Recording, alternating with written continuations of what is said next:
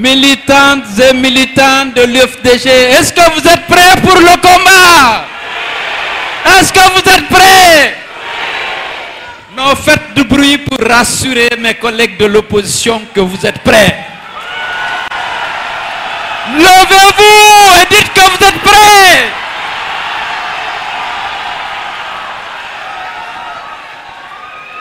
Je veux, en votre nom militantes et militants de l'UFDG,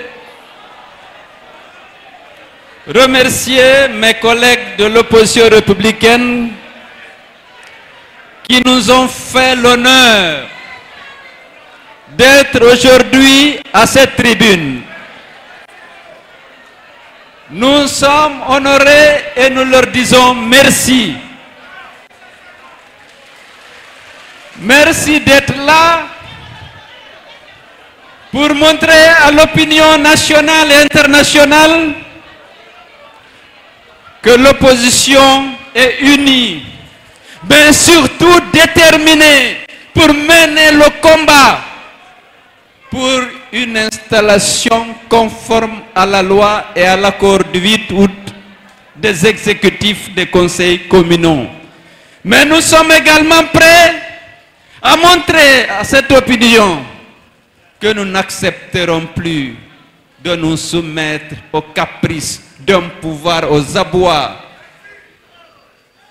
et que nous sommes déterminés à combattre toutes les dérives pour que nos droits soient respectés, pour que nos lois soient respectées, pour que notre constitution, la loi fondamentale, soit respectée. Nous venons de terminer une réunion extraordinaire de l'opposition républicaine. Au cours de laquelle réunion, nous avons décidé de reprendre le combat. Lundi, ville morte sur l'ensemble du territoire national. Lundi et mardi. Parce qu'ils ne veulent pas comprendre. Alpha Condé ne veut pas comprendre. Je tiens à faire quelques rappels. Nous avons gagné dans les urnes. Ils ont corrompu et intimidé les commissions administratives de centralisation. On a écarté les PV dans lesquels nous avions largement gagné. On a annulé d'autres pour donner des avantages au parti présidentiel. Nous nous sommes rendus compte qu'ils se sont livrés à cette pratique ancienne qui a permis à Alpha Condé d'être au pouvoir et de le conserver. Nous avons décidé ensemble que nous n'acceptons plus et nous avons engagé une série de manifestations pour exiger la publication des vrais résultats, ceux issus des urnes.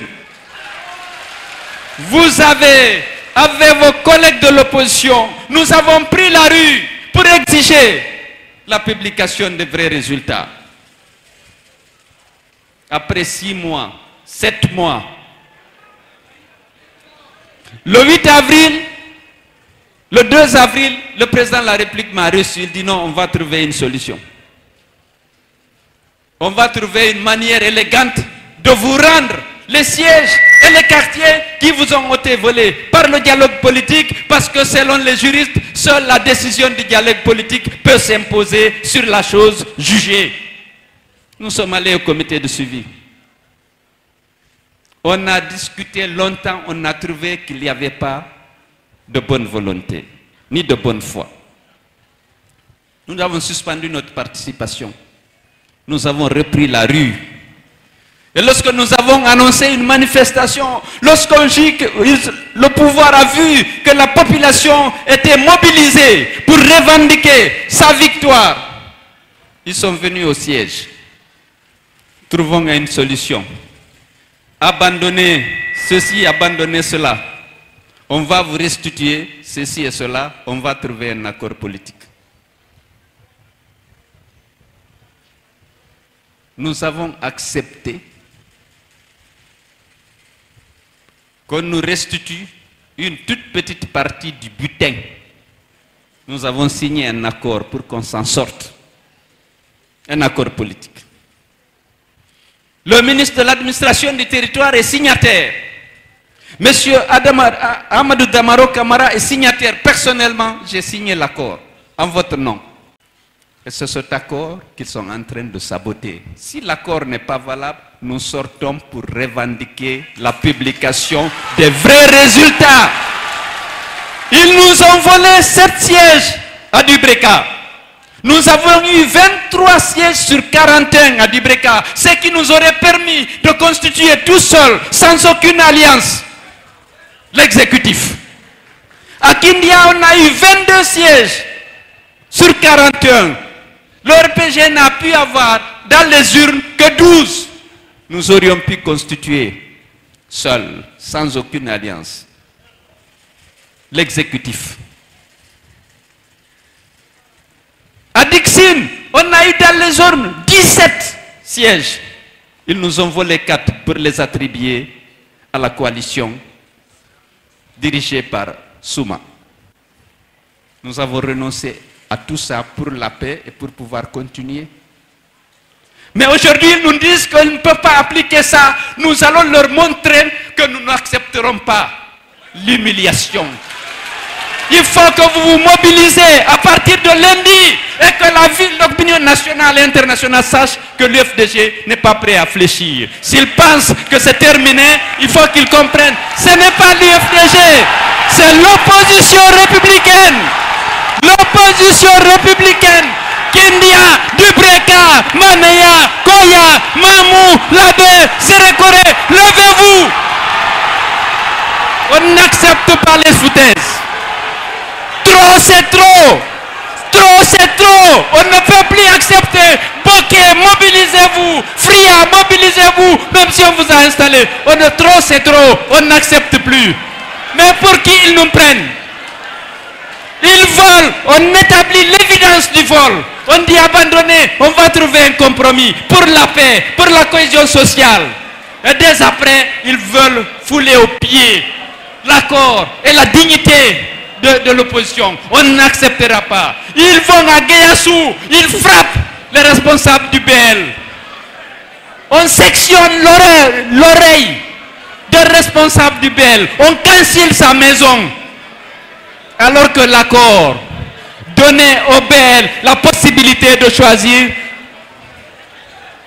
le président, le maire de la commune. À partir de lundi, à partir de lundi. Et j'ai dit, c'est une marche. Une marche passe. Une marche. Dans toutes les grandes villes de Guinée, il faut qu'il y ait une marche. Le jeudi, je lance un appel aux responsables. Ils n'ont qu'à faire la déclaration d'information de lundi. Toute la Guinée doit marcher pour exiger le respect de la loi, le respect des accords, le respect de la dignité et du suffrage des Guinéens. On ne peut plus, on ne peut plus accepter. On a tout fait pour que nous puissions sortir de la crise. On a fait des concessions inacceptables. On l'a fait depuis 2010, on ne le fera plus. Nous allons exiger le respect des suffrages du peuple. Donc, nous comptons sur vous. L'UFDG doit être en première ligne. Lundi, c'est une ville morte. Mardi, c'est une ville morte. Jeudi, c'est une marche sur l'ensemble du territoire national. Et nous allons demander la publication de vrais résultats. Les, tous les exécutifs qui ont été mis en place en violation des dispositions de la loi et en violation des dispositions de l'accord politique du 8 août sont rejetés d'office, on n'acceptera pas. Des corrupteurs avec des sacs de biens neufs aujourd'hui sillonnent le pays pour acheter les élus à 10 millions à l'intérieur du pays. Ici, à Conakry, jusqu'à 500 millions, on propose aux élus une corruption à ciel ouvert. Il faut se mobiliser pour dénoncer cette corruption, cet achat de conscience, cette manipulation des citoyens guinéens. Mes chers frères et sœurs, camarades, Mes chers amis de l'opposition républicaine, je suis très honoré et croyez-moi, l'UFDG est très honoré de votre présence, de votre engagement. Vous avez écouté mon ami Macanera. Il est lui-même fidèle à ses convictions, fidèle à ses amitiés, fidèle à ses choix. Nous le rassurons, l'UFDG sera digne de sa confiance. Je vous remercie.